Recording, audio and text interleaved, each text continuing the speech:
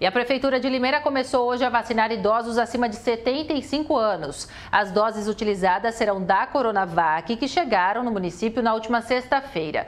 Quem faz parte deste grupo deve comparecer às unidades básicas de saúde. Nossa Senhora das Dores 1, Planalto, Aeroporto ou Hipólito 1, com RG, CPF e cartão SUS. A aplicação será de segunda a sexta, das 8 da manhã às 4 horas da tarde. A partir de hoje, a unidade do Nova Europa vai aplicar exclusivamente a segunda dose em idosos que já estão no prazo para receber aí a segunda dose da imunização.